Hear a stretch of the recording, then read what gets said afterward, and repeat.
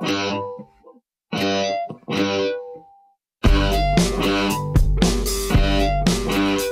there, welcome back to the show. This is Phil Vischer. This is the Phil Vischer Podcast. I am here with Skye Jethani. Hi, Phil. Hi, Skye. Welcome back. Thanks. I was on vacation last week in Michigan blowing stuff up. Yeah. And Christian Taylor. Hey, Phil. Hi. How are you? Blue. Yes, I've got blue on today. Robin's egg blue? I would. I love that. Okay. Yeah, Maybe. or electric. Electric Company blue. And we've got a special guest this week, Dr. John Walton. Hey, Hi, John. back again. Welcome back to the show. Who knew? Uh, I did. We set this up weeks ago. It's true. Except the first time, the date we picked, you realized you weren't even in town for. Yeah, and then- that's right. Yeah. that I was scheduled a podcast when I was in Scotland. Yeah. clever. Hey, it's a podcast. What do you know? Hey, it's a podcast. And we got video. Hey, it's a podcast. So land in here. The Phil Vischer podcast starts right here. Oh, we'll talk to Skye Buenos dias. and Christian too. Hola. And Dr. John Walton is Shalom. here for you. Did you say shalom? Shalom, I did. Do you know any other Hebrew greetings? Oh, barely. Hey, it's a podcast, so lend an ear. The Phil Vischer podcast starts right here. The Phil Vischer podcast starts right here. Now, Uh, the Phil Vischer podcast is brought to you by you, viewers and listeners like you. Support the podcast so we can keep making it and getting it to the world for free. Uh, so you can go to Patreon, patreon.com, to our Patreon page, patreon.com forward slash Phil Vischer, and you can support the podcast so that we can keep making it. Thank you so much. We're feeding our uh, uh, what's your title, director, editor, whatever, Jason. We're feeding our Jason based on your lovely donations. Can, I- can I plug something? Uh, Skye now would like to plug something. I, well, it's kind of a story and a plug. Skye would like to plug a story. So last night, a friend from church, we had a bunch of people from church over at our house. One of them was Don Kearns and his and his wife, and they um, volunteered down at the Angola prison in Louisiana. It's like one of the largest prisons in the country. This huge thing. So he told me a while ago that my With God Daily devotional was he was passing it along to some of the prisoners down in the Angola prison. Uh, the problem is they don't have free email down there. To get access to email, you have to pay for it. Really? So th- th- he asked me permission, and they are now running hard copies of my daily devotionals down there and spreading them through the prison. So yesterday he came over to my house and he gave me this envelope full of handwritten letters from inmates, including on death row, who are reading the With God Daily devotional. And so um, part of the reason that that has been able to get down there and have a positive impact on people is because of the people who actually pay for it and subscribe to it. So thank you if you have been a subscriber and are supporting You're it. welcome. You're, yeah, thank you, Christian. so it's, it's just kind of really encouraging to hear some of those stories that you would never That's very anticipate where this That's really neat. where this goes. Yeah, From Angola prison in where? Louisiana. Louisiana. And I have to say, I honestly feel like God has got is on a roll through those devotionals. I've been learning stuff recently that I have not been challenged to think about before. And you know, it really is sets my day and thinking sort of along the godly way. So I really Good. appreciate you doing it. We're going through the book of Acts right now, one chapter a day in the devotional. So if you jump in, you can still get most of Acts before the end of July. Fascinating. Good stuff. How many of the chapters, how many of the devotionals are about the church? Well, a fair number because it's Acts, but not all. I mean, I'm doing one devotional per chapter, and there's obviously a lot of content I can't cover. I'm kind of selecting a single idea out of each chapter and Gotcha. that. Well, and you you you also make those intensely personal because you say you ask questions at the end every time, sort of how we should think about ourselves in light of what the text teaches. So Okay, it was a uh, rough week. Obviously, I was out of town, but I was getting news updates from Dallas, from St. Paul, from Baton Rouge. Uh, police killing black men, black men killing police. Not a very pretty situation. I don't feel overly qualified to say a whole lot about that, other than that it's messy and not getting any less messier. Uh, you said you had a thought or two. Well, I my thoughts are that my heart is broken. You know, my Yeah. heart is truly broken. For um, I do completely agree um, that it has been incredibly difficult for our back black brothers and sisters, as well as you know any person of color, to feel comfortable. Uh, sort of in this American culture, and uh, it goes you know way back. I've been watching the OJ Made in America documentary. I don't know if you have seen that, and I started that before this whole thing happened, and I didn't want to watch it, but my husband did, so I did, and it has been incredible because this documentary is not just talking about OJ; it's talking about the culture uh, in the United States starting back in the you know mid '60s, and it was so shocking. What led to OJ's acquittal and everything else was how the black people were treated by the police officers um, back then, and it just bubbled over. And it was just so timely what just happened to to demonstrate that we are still dealing with these things. You know, Right. 30 or more years later. Um, I think what's tragic for me is that, you know, a killing of white police officers doesn't solve the problem, it just compounds it. And um, when you sit there and say, what is the way out of this, or how do we make sense of that? I wrestle with that all week. And the only thing that sort of got me over that hurdle is what I was telling you about later. In reading through Ecclesiastes, Ecclesiastes I think there's a lot of answers there about the way to think about these things. And the Bible Project videos that you told me about, Skye, that deal with Ecclesiastes, I highly recommend um, you watching those because it's a seven minute thing that summarizes how we deal with this meaningless, terrible stuff that happens in life. So, I mean, I don't know. What do you say to that, Skye? No, those are all good good suggestions. Um, I was speaking yesterday morning at a church in the city that's very multi ethnic. Um, a lot of African Americans, a lot of uh, Anglo's, a lot of Asians, a lot of Latinos. It's just it's a and, so this whole week has been pretty traumatic for that congregation because there's a lot of people there involved with Black Lives Matters. Um, and it was interesting talking to them, talking to the pastor who's a friend of mine about how they're processing it, and some people look at this situation and go, well, this is just how it's always going to be. There's nothing that can really be done about it, so who cares? I saw one really horrible video online beyond the terrible videos of the shootings of some Christians basically saying, this isn't our area to work on. This is uh, it was a very dualistic theology that said all we should really be focused on is saving souls. These kinds of systemic injustices have always been with us and they always will, so why bother? Which is a completely wrong response to have. But there were a couple things that I read and, and looked at this week that brought some hope and encouragement to me. Um, number one, I think th- this could cut either way, but the reason why this is becoming so much of a of an issue now is not because it's new. It's because we have the technology where more of these incidents are being caught on video and shared rapidly around the world. So, for a lot of us who have been isolated from African American communities or from African American brothers and sisters in the church who haven't heard about these injustices in the past, we're suddenly being made aware of them because of the videos. So, we, we shouldn't be looking at this as a new problem. It's always been there. It's just reaching our awareness. But then, secondly, um, there are some really phenomenal stories of police departments around the country that have made major improvements. Well, and Dallas is one of them. Dallas is one of them. Las Vegas is another one. It's been shown that with the right training and the right procedures in place, the number of police shootings overall, including the number of shootings of African American men, can go way, way down. And so this is not an insurmountable problem. Um, obviously, no one is in agreement that targeting police officers is ever a good idea, uh, and that unfortunately, this this really disturbed person in Dallas who did this is going to derail a lot of the progress that could have been made from peaceful and, and helpful protesting. But I I've been encouraged even on social media to see how many white pastors and predominantly white churches are now engaging this issue. And it makes me think that maybe we can break down some of the silos in thinking that there are certain black church issues and there are white church issues and they just don't overlap at all. This is a this is a sanctity of life issue that the church should care about whether it's police lives or African American lives or uh, a criminal justice system which is systemically racist and broken in many many ways it needs to be reformed. And this is an area where both Democrats and Republicans are interested in reforming. So I think it's something the church can uh, jump into and actually help lead in a positive in a positive way. My brother wrote a piece. My brother Rob uh, wrote a piece for the National Catholic Review called uh, Catholic Universities and Black Lives Matter Why Our Schools Must Address Racial Injustice. And this would also apply to uh, Christian schools as well. But he raises a really good point that most state schools have gotten out of the business of character shaping.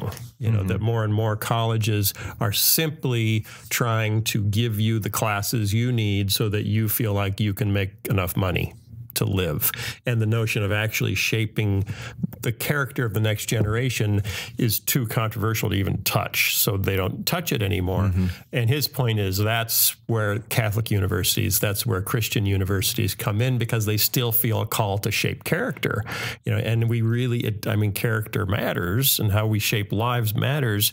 Um, and that is something that Christian universities and Catholic universities do and can still do uh, probably much better than secular universities. So, there you go. You can find if you want to read that piece. It's at um, americamagazine.org. My brother is Robert K. Vischer. So, one last question about this whole thing that's been on my mind, which is slightly controversial. Yes. And that is normally when there's a mass shooting, whether because of a mentally ill person or a terrorist or whatever, if there's a mass shooting, in short order, the NRA usually makes a statement afterwards about something regarding guns or gun control. And Wayne LaPierre, the spokesperson, head of the NRA or whatever his title is, famously said after the Sandy Hook shootings that the only thing that stops a bad guy with a gun is a good guy with a gun. Yeah. And that's kind of been their mantra because they're really, I mean, regardless of what you think of the NRA, they're pretty much a lobbying group for the gun manufacturers. And whenever these tragedies happen, gun sales spike. They just skyrocket so that they kind of in a sick way benefit from them. After the Dallas shooting of these police officers, they've been strangely silent because this was a case in which one guy with a rifle, a bad guy with a gun, mm-hmm. did an awful lot of damage. And he was targeting a whole lot of good guys with, guns, guns, right, and they couldn't right. stop him. They ended up having to use a robot With a bomb. with a bomb to stop him. So this is a clear case where somebody with with evil intent and access to the right firepower was able to do a whole lot of damage no matter how many good guys with guns were happened to be there. Right. And there's even a bigger conversation about Texas in particular and their open carry laws because there were 20 or 30 people openly carrying rifles in the area. And they couldn't do anything. And the well, and the police didn't. The police had to come out and say, if you are carrying a gun and there is an active shooter, we have to assume you're a suspect. You know, and so they had twenty to thirty people around them that they had to treat like suspects because someone was shooting, and there were all these people standing there with guns. Uh, and, and the uh, the head of the uh, Dallas Police Department, the, the police uh, superintendent, said, "This is why we were against open carry. Yeah, You know, this is exactly why we were against this because we it, it puts police in terrible positions of having to make these split second decisions. Right. Someone is shooting, there's a guy with a gun. Normally you would say, well, that must be your shooter. But if if 30 people around you have guns, you have no idea what to do. Right. And this may be a complicating factor in the shooting of uh, Philando Castile, the, the African American guy in Minnesota, because when we don't know the full story yet, it's coming out. But when he was pulled over by the police officer, he had a legal Yeah. firearm. He had a concealed carry permit, and he was telling the police officer that he had a firearm. And we don't know exactly what happened, but the police officer's attorney came out and said this had nothing to do with race. It had to do with the fact that this police officer saw a gun and reacted. And now, did mm-hmm. the fact that the gun was being carried by an African American man contribute to his fear and, and ended up firing on him? We don't know. We'll find out. But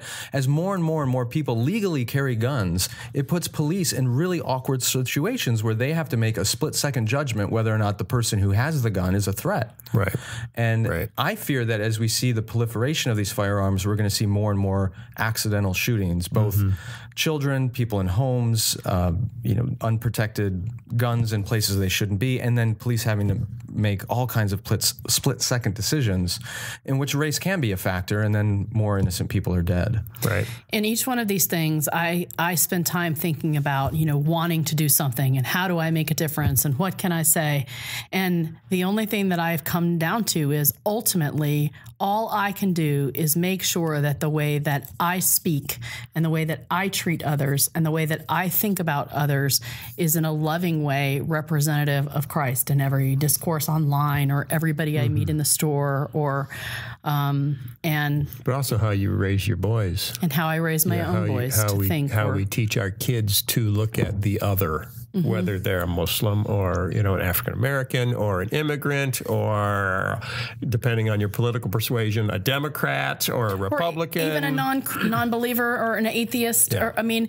how we treat others that are different from us and believe differently and look differently um, and not just with our words when we teach our and children even even for police officers, the, the the notion that you can give a police officer a class that will rewire Right. their thinking over you know 30 years of growing up in our culture that's asking a lot from a class it's true do you have anything to say John Nope. What I really want to know. learning. how did they handle firearms in the old testament Yeah. They had them. well, and you know, can I just say one thing about that? As I've been reading through this Old Testament, and please correct me if I'm wrong, but what I am reading makes what is happening today look tame. Seriously. the ancient world was rough It was pretty darn rough. And talk about people dying for n- no reason or senseless Yeah. crimes happening or populations being wiped out. I mean, for people to say nothing has ever changed, and I'm reading this stuff in the Old Testament thinking, oh my goodness, how far we've come. Although most in the Old Testament, most of the situations are more connected to warfare, national movement kind of things, rather than crime on the streets. Not that there wasn't crime on the streets, but that's Right. that's not the stuff you read about too much in the Old Testament. and in much of the ancient world penalties for crime on the oh, streets Oh, yeah. was pretty severe Yes. the chopping off of hands and Well, and still in some places of the world today. that is true and they have less crime on the streets i guess are you in favor of caning Caning. in, in is it singapore where if you litter you can get You know, there's an ancient Sumerian text that's in the University of Chicago Museum. It's a student's text, and he's writing about his experience at scribal school. And he gives line after line of things that he made mistakes on in his scribal work. And the refrain after each line is, caned me. caned me. this happened, caned me. so, yeah, this goes back pretty far. Okay. yeah. How, what year would that have been written? Oh, that's it's a it's a uh, a scribal tablet, yeah, probably in the early second millennium BC. Oh My word. 4,000 years ago. Yeah, You've seen it with your own eyes? yeah, it's down in the University of Chicago Museum. Pretty cool. okay speaking of ancient world um, noah's ark is open Uh, open for business The Ark Park. the Ark Park. Uh, and with the opening of, of the Ark Encounter, the Freedom from Religion Foundation has just reminded more than 1,000 public school districts that it would be illegal to plan field trips to the creationist attraction. Uh, Freedom from Religion Foundation sent out a memo.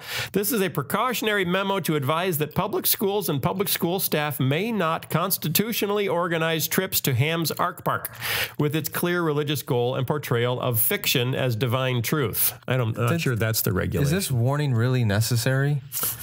Are there a um, lot of public schools just chomping at the beat, bit to get to the Ark Park? I think the assumption is there maybe are in rural America. I think the assumption is that the Freedom from Religion group just wants another press release to get some publicity. In summary, public schools cannot organize trips for students to either the Creation Museum or the Ark Park. Doing so would violate the students' rights of conscience and the Constitution. And other museums, natural history museums, have no agendas whatsoever that have any impact on our religious thinking. Religious agendas? Overtly religious? Yeah, well, is a lack of religion yes, a religious absolutely. agenda? This is the controversy, isn't it? What is religion? I just would rather visit the, you know, findings of Jupiter and then the Ark Park, which is a pretty cool thing happening. The Jupiter Park? The Jupiter probe. Oh, Have you not been reading about that? no. uh, NASA has has sent many years ago this, you know, Jupiter thing to probe. It's Jupiter Yeah. 5. and Jupiter so five. it's Jupiter's a in there god. We can't do that. yeah. Okay. See, that has a religious agenda. looking around and seeing Okay. deep things that God actually created. Okay. You know that We that can know today. Jupiter is actually Indian. Right? Has a big red dot. Oh my goodness. I can say What that. are we talking about today? Let's talk about hell. I brought uh, Dr. Walton on the show because I wanted to talk about hell. Particularly, I wanted to start from the okay, hell is something that we all have a very strong sense that, oh, I know what that is. That's, you know, and then whatever it is you learned when you were a kid, fill in the blanks.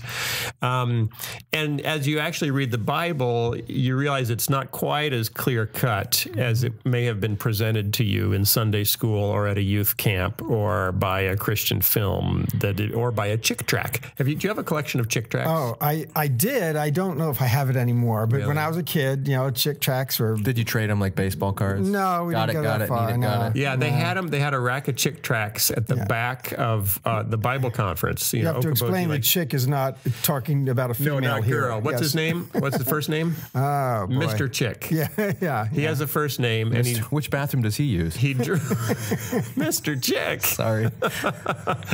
It's a bar in Chicago you probably shouldn't go into.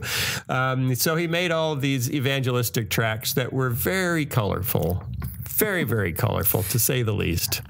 Yeah. Graphic. graphic. Yeah. And uh, many conservative evangelical churches had a rack of tracks in the back that you could take, rack of tracks in the back, Jack.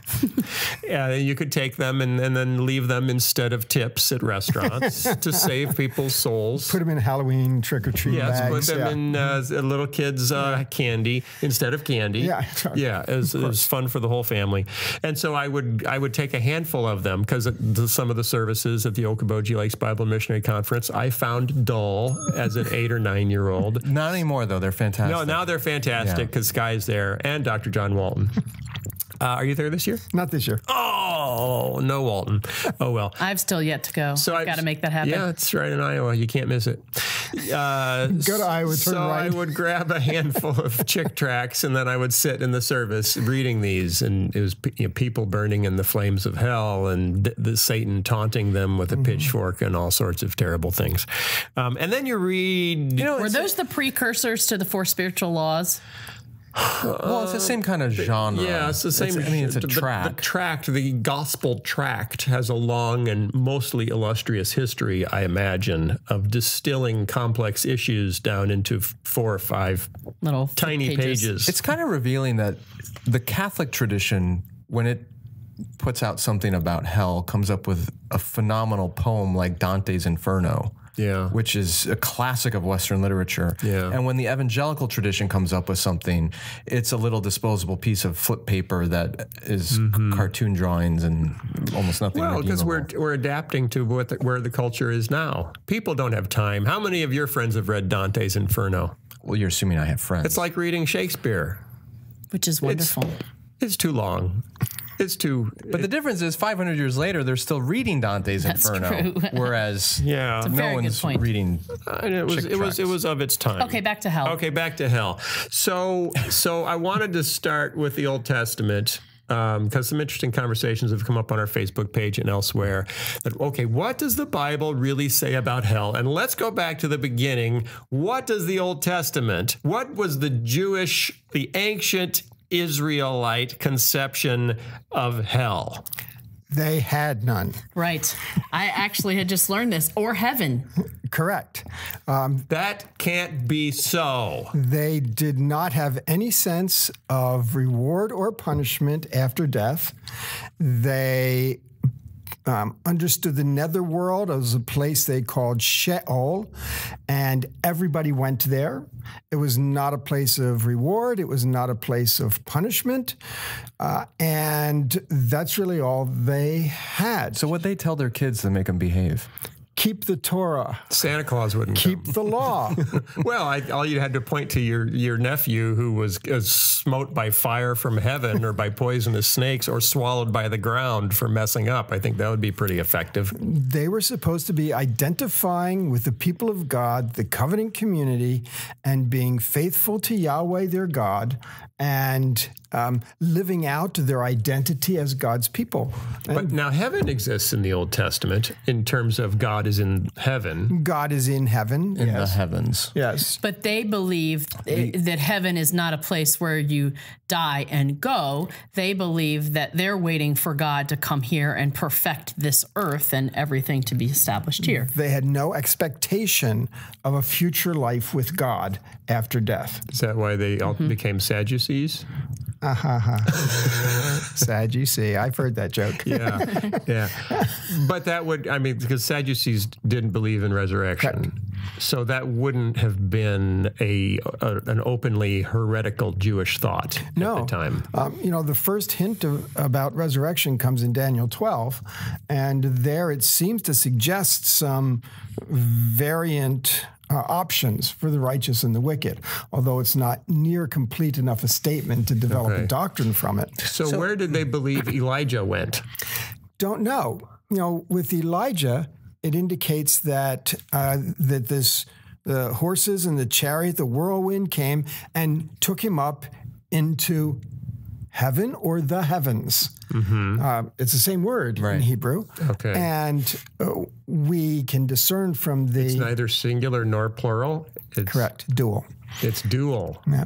We can dis- we can discern from the context what they understood by it because Elisha goes back and reports to the sons of the prophets that Elijah had been taken up, and they said. We better go find out where God put him down. and they spend several days doing so. So it's clear. Basically, like the wind would take him up and blow him somewhere else. Philip, Acts 8, right? You've covered that one already. Yeah, yeah. Okay. Philip in Acts 8, he's transported. Mm-hmm. He just shows up somewhere else. And so th- they're wondering where he got put down. So they're not mm-hmm. thinking he went to heaven. If they if they did think that, it would be problematic for us anyway, because in Christian doctrine we tend to think there's only one way to go to heaven, and chariots and whirlwind is not it. it's mm-hmm. it's called Jesus. Okay, so regarding the Old Testament, though, the ancient Israelites were surrounded by other cultures that did have somewhat elaborate theologies of the afterlife. I'm thinking of the Egyptians in particular. What influence or overlap is there at all with what the Israelites understood versus what the Egyptians had? There's not a, not a lot of overlap with the Egyptians. Uh, why would the Egyptians have such an elaborate vision of the afterlife and not the Hebrews? Um, the Egyptians' concept of afterlife ha- is very heavily influenced by their own particular Egyptian beliefs. In other words, they believed that the soul would be preserved, the person would be preserved in the afterlife, so that they could join the sun god in the the sailing across the heavens, Ra, Mhm. and I've that watched Hollywood movies. Wow. And so Like National and Treasure? So it's sort of an exaltation that comes about, a joining, merging with the God. That theology never would have cut it in any Israelite setting. So what when when David, for example, uh, is is praying and grieving over his newborn child that is ill, and then the child dies, and he says, "He will not return to me, but I will go to him." another netherworld. Then it's just another Just world. another world. But what is like? Do they have any more details about the netherworld? Like what it comprised of it, or you know, I'm going to go to my Was it a father's. That mansion kind of with many rooms Um, nope. and a big, big yard to play football? Now, the the idea of uh, of being gathered to the fathers is represented in their burial practices because they're buried in family tombs. Uh, in a family tomb, the body would be laid out. Um, and over time, the flesh would desiccate, and finally, they would just brush the bones to the back of the of the tomb, gathered to their fathers. Desiccate means turn to dust. Yeah. So uh, mhm, from yeah, dust you yeah. came, and from dust exactly. to dust you shall and return. So in that sense, they were gathered to their fathers. They also believed, you know, beyond that, that their nefesh, their self, their person. That's it's a word that sometimes is translated soul, Okay. but that's not really a Mm-hmm. Hebrew conception. Um, so their their self, their personness, um, would. Uh, would then go to the netherworld, would join with the um, the community of the ancestors in the netherworld, and in that sense form a community in a netherworld context that had some connections to the community that continued to live. Whether to you were good them. or bad. whether you were good or bad. But here's the bottom line Let's hit it, Christian. Go ahead. nobody really knows. I mean, nobody, Right. you, you can't have any actual factual knowledge of this being Of what the a Israelites certifiable, thought? no, a oh. certifiable truth. you know, even then, those are things they decided to believe. Exactly. The point of our discussion, though, is to figure out what the Israelites thought.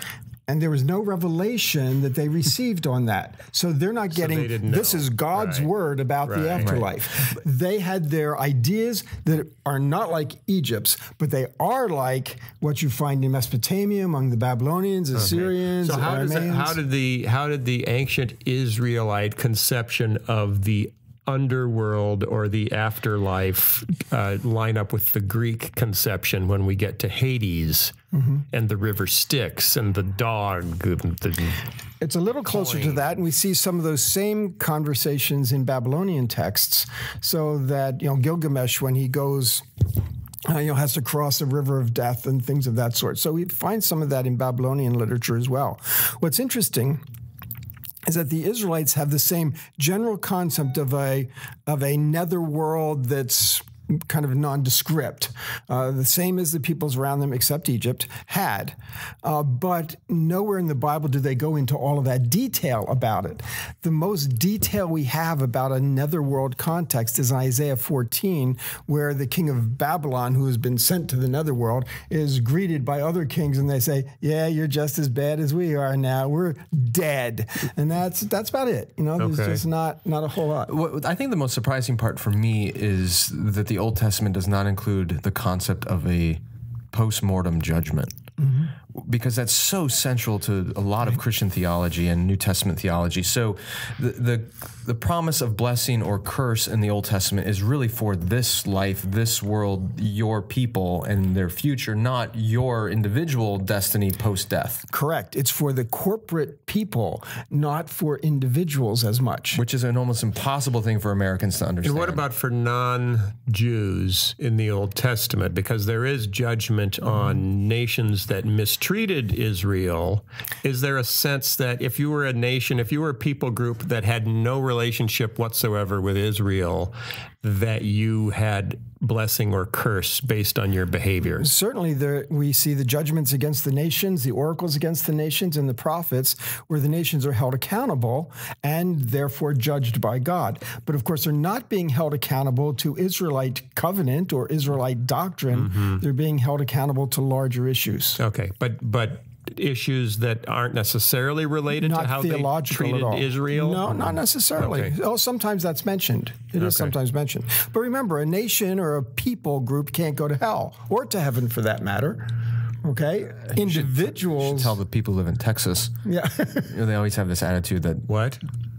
Well, What trouble are you getting us in now? I'm just saying Texans have a you know that God bless Texas kind of thing. Like it's a, oh, like as to be- opposed to Americans with Yeah. the Well, haven't you Bless seen that? Haven't kind you of seen thing? that that bumper sticker that says I forget how it goes. Don't mess with Texas. No, yes, not I've that one, All my but- exes live in Texas. No. I don't pay taxes. I live in Texas. no. He, he really knows his Texas That's bumper actually in stickers. Tennessee. there, there's there's that bumper sticker that says something like American by birth, Texan by the grace of God, or something like oh, that. Oh, Yeah, but that's still not a matter of, you know, Texans are going to heaven. Right. Well. Yeah. Right. Can, can I ask a more important question? Please do, Christian. Okay, Get so us back on track please. here. All right. So if they have no real concept of, you know, punishment or hell or even heaven, how do they grapple with the idea of what their purpose in life is? Their purpose in life is to live out their identity as God's people. God has chosen. But to what them end? To the end To what of benefit? to the end of participating in God's purposes and plan.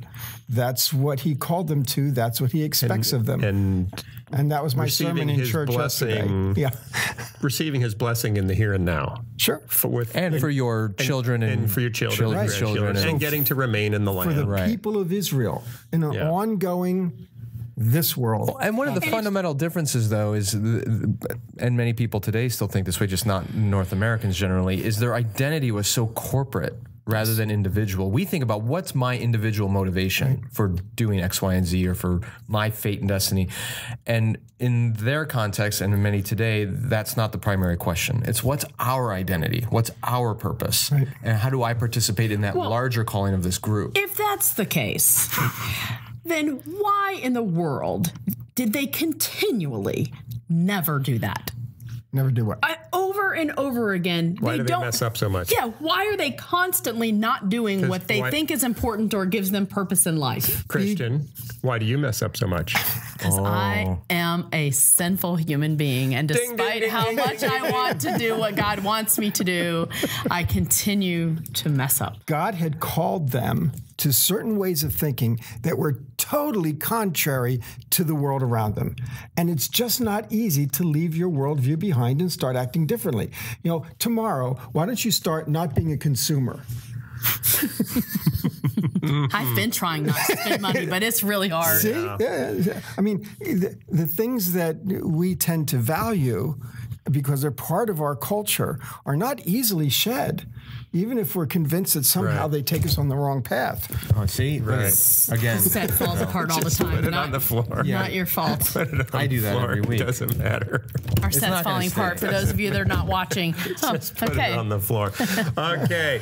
Um, okay. So then we get to we get to the first century, and then I've heard did, of we, that. how did we get there? time went by. Oh, okay. You know, Old Testament, you get to the New Testament. Yeah, you just it's inevitable. Okay. You can't avoid it. You can't skip it.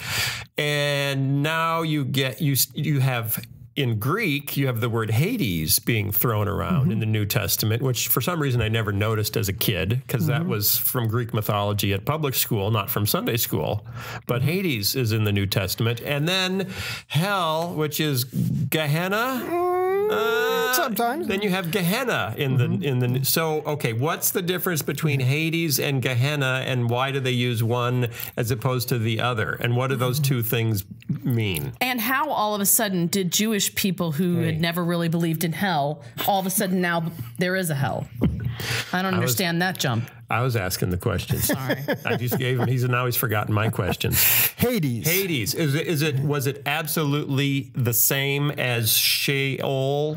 Not absolutely. Okay. Um, again, okay, people who grew up on the King James version, like I did, because there was nothing else when I grew up, you know, back in the Jurassic period, Mm-hmm. and the uh, King James translated Sheol as hell and translated Hades as hell. So we grew up thinking that the Bible, the Old Oh. Testament, talked about hell all over so the place. hell, all the so in the. King James, hell is in the Old Testament. Oh yeah, it's Sheol. Yeah, Sheol. Yeah. And so uh, you, you grow up thinking that it is talking about It's hell. just hell, hell, And hell. Sometimes they say the grave. Okay, the interpreter's Yeah. choices there, but that's also true with Hades. Hades uh, could be talked of specifically as a generic netherworld, an afterlife, Mm-hmm. um, or sometimes it was used to refer to a place of punishment. Mm-hmm. Um, so that word had its flexibility, and we see it used both ways. Okay. Um, Gehenna is a Greek adaptation of Hebrew terminology. You've probably heard this before, okay? But just for people out there, Mm-hmm. Valley maybe Or for haven't- of Christian. the son of Hinnom.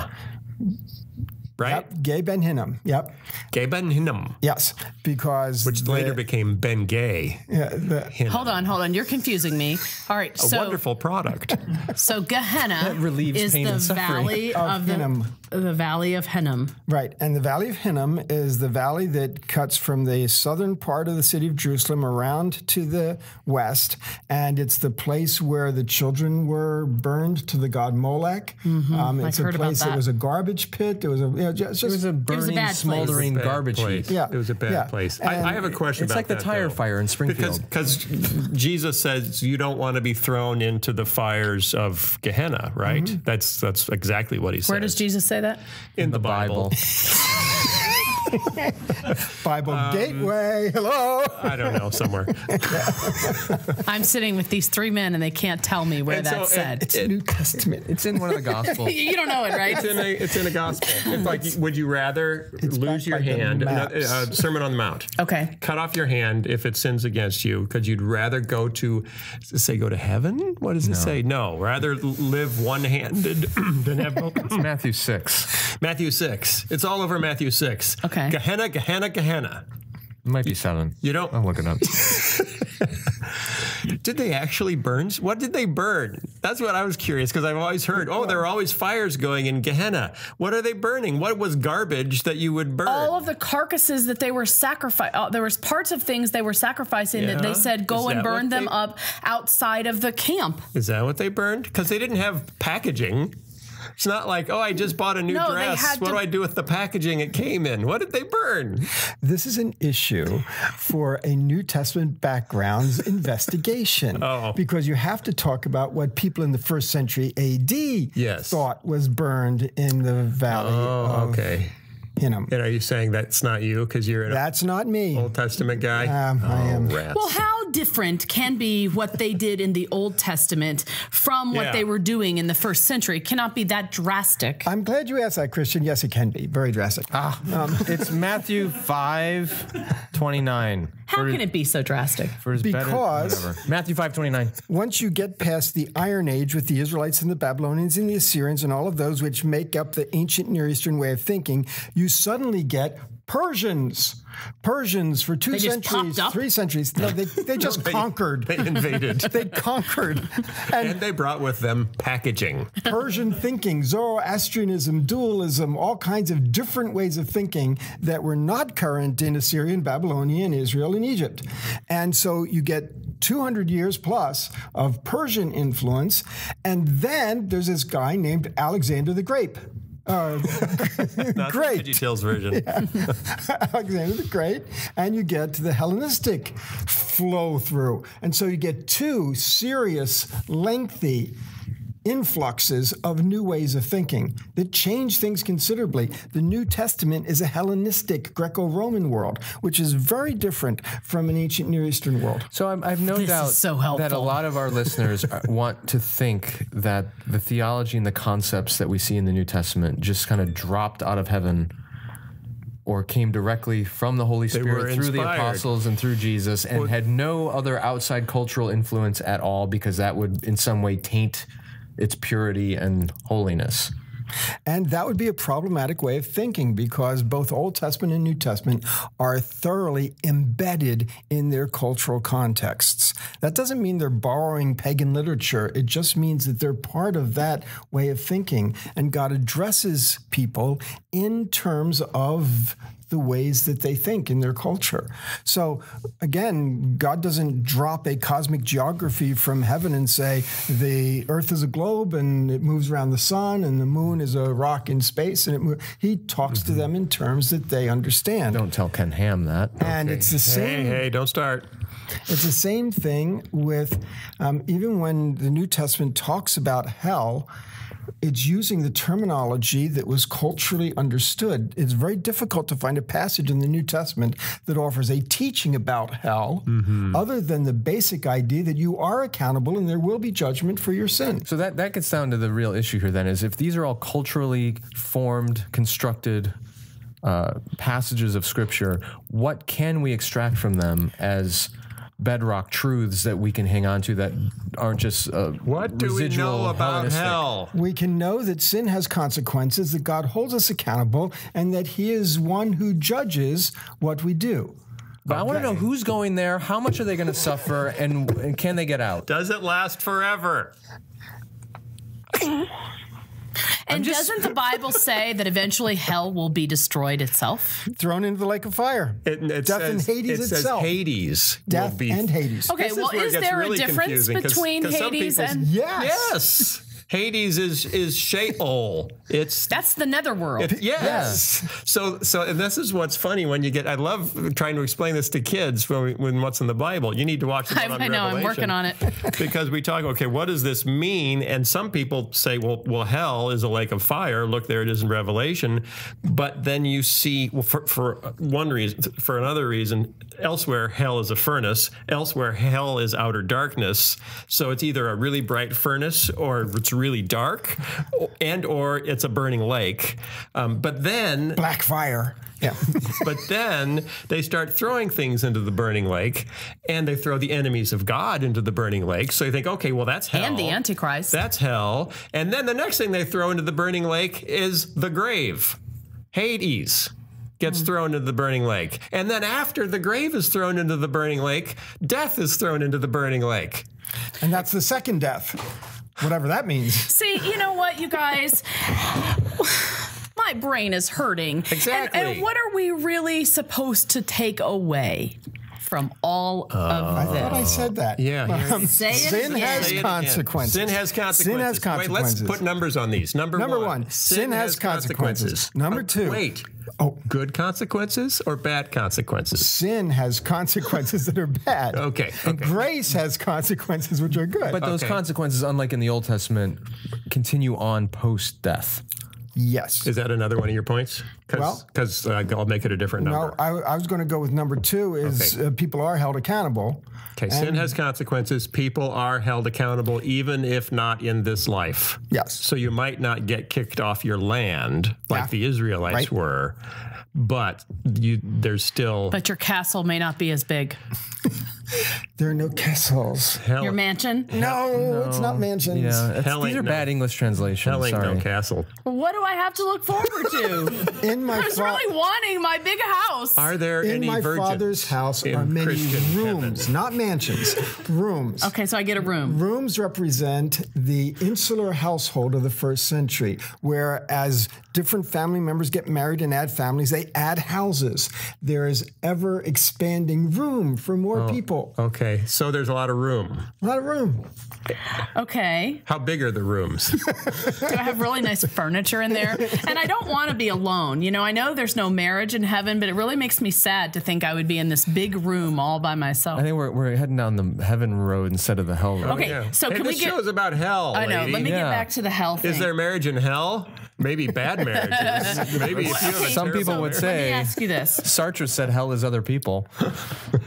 If Lewis did that too. Yeah, He was quoting Sartre. probably.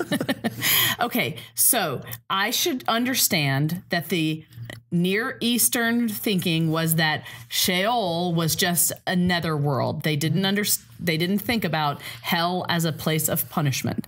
However, in the New Testament, there is Hades, which is the same thing as Sheol, and Sheol. Sheol, and there is the Valley of Hinnom. Gehenna. Gehenna, Yeah. which is a place where they burn children to Molech, and And trash. and, and and trash, packaging. which is bad. And um, but my mother always told me that Way, Now way, way to bring it around. now we're That- getting to authority issues. that hell was re- ultimately separation from God, and that my consequences of unrepentant sin were what kept me separated from God, not only now, but also Forever. forever. Whatever hell is, and there are lots of different opinions, it certainly involves separation from God, and perhaps that is the very worst part of it. But the text really doesn't talk in those terms. Um, I kind of like what Millard Erickson says in his uh, theology book.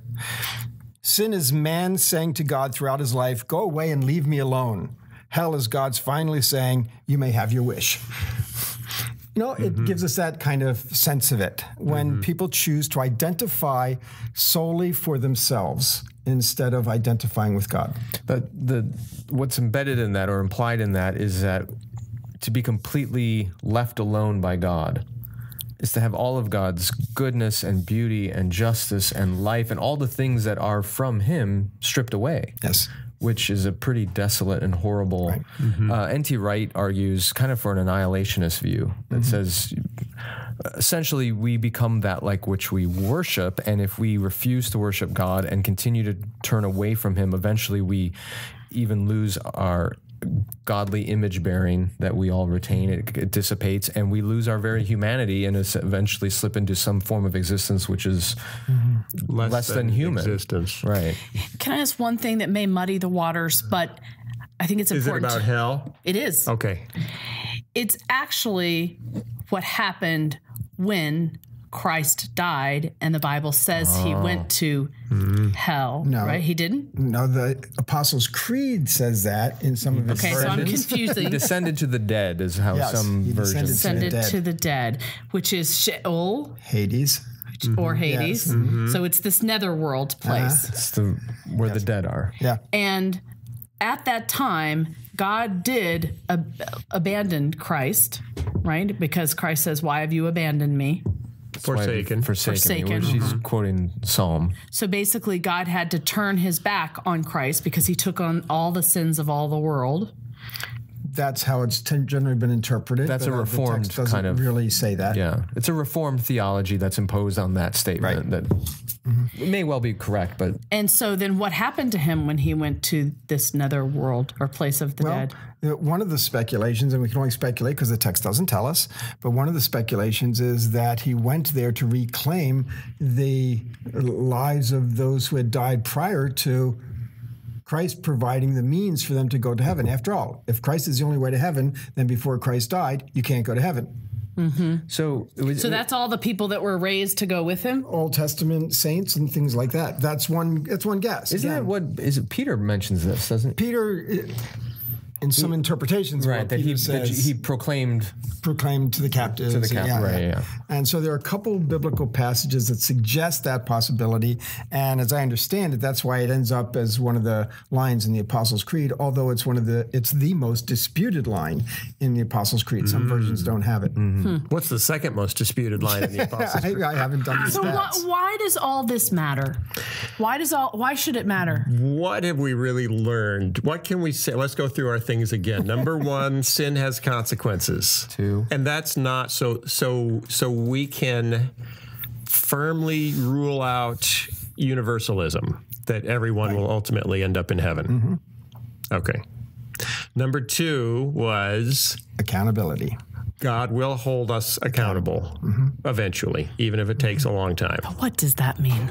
It's kind of a playoff of one though. There's a con- there's consequences for Yeah, your there are sin. consequences for your sin. But if Jesus forgives them, Well, but even in 1 Corinthians 3, he talks about our, still- our works will be judged and the quality of each person's work will be determined and ju- tested with fire.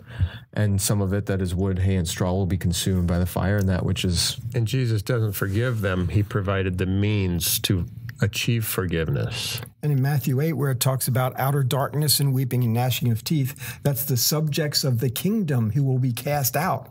Very What? interesting. Yeah. oh now that scares me. Hey, what does that mean? what does that mean?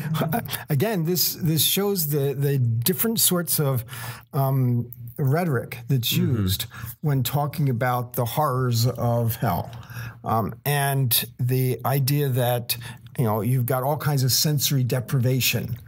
You know, you, there's darkness, so you can't see. There's the hard smells, so can't, the, the feeling of fire, all the sensory kinds of things. And there are all ways to talk about it. So what did you just say? Read that again. Oh, Matthew 8 12, Skye's got it here. Uh, am I in the right chapter? Yeah, Matthew 8, Matthew 8, 12. 12. While the sons of the kingdom will be thrown into the outer darkness, in that place there will be weeping and gnashing of teeth. Remember, he's talking about Israelites here. Israelites who are sons of the kingdom of God, represented by the covenant. Okay, let me, let me back it up again. When Jesus heard this, he marveled and said to those who followed him, "This is when he. This is the centurion, correct? Yeah. With, uh, anyway, he's, he marvels at the faith of the centurion, and says, "He marveled and said to those who followed him, Truly I tell you, with no one in Israel have I found such faith. I tell you, many will come from east and west and recline at the table with Abraham, Isaac, and Jacob in the kingdom of heaven, while the sons of the kingdom will be thrown into the outer darkness. In the place there will be weeping and gnashing of teeth." What does that mean? Okay. Great. Well, we're out of time. Well, I think, but, well, okay, one of the big takeaways here, though, is these super simplistic understandings of Yeah. hell that a lot of us inherited in our childhood Needs some re-examining. are very much rooted in our Western cultural understandings rather than what's mm-hmm. actually revealed and in have been influenced by Milton, by Dante, all Dante, sorts of by things. Chick Yeah. tracts. That's Jack Chick, by the way. I think Jack, that's- yeah, it is Jack, It you're right. Jack. Jack Chick, that's right. But remember, in the end, Yeah. it- it's God's business what takes place. Yeah. We know what's expected of us. We know what kind of response God wants, and we know that God holds us So it's kind for of that. simple. It's kind of simple. we We know we know we- he is. We have to accept that he is God. Mm-hmm. We have to fear him. Yes. Meaning we have mm-hmm. to take him seriously, mm-hmm. and we have to d- aim to do what is right. But one other piece here is I think the reason why we are so um, contorted in our understanding of this is for a lot of decades, maybe centuries, we have used a very explicit vision of hell for evangelistic purposes. Scare people into the to kingdom. scare people into the kingdom, and that's Fire not insurance policy. That's not really a tactic you see in the New Testament. They don't Right. go into this elaborate detail of the sufferings of hell in order to win people to Christ. That's just They not. talk about who Christ is. Yeah, but and it, that's maybe another podcast for another day. But Probably. it's it, it's a lot more nuanced and complicated than we want to often think. Okay. Have you written anything on hell?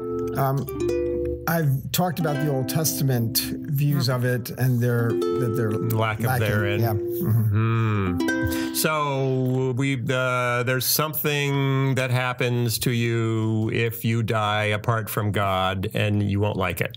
Right. It won't be fun at all. Okay, let me try to wrap this up with clarity. Mm, Even though we don't know a lot about hell, we can say with certainty you won't like it very well. So, your sins you really shouldn't be exalting. You should listen more to Dr. John Walton when he tells us how we should live and the kind of love that we should give. And we should probably take his classes and buy his books, cause then Ben. he can put his kids through college. They're already through college. through, yeah. He can retire. No, we don't want you to retire. No, we want you to keep writing books. He can be buried. He can take a sabbatical and write more about all this stuff. That was almost a really great song. Wow. Till the end. Near miss. All right. Thanks, John Walton, for Oh, coming back. Thanks so much for being Next week, we'll have you back and talk about heaven. and then purgatory after that. Wow. How about that? Okay. Have a great week. We'll see you next time. Bye, everybody. The Phil Vischer Podcast is produced by Phil Vischer Enterprises and recorded live at Jellyfish Lab Studios. This episode was edited by Jason Rugg and was fact-checked by absolutely no one. For more information, go to philvischer.com.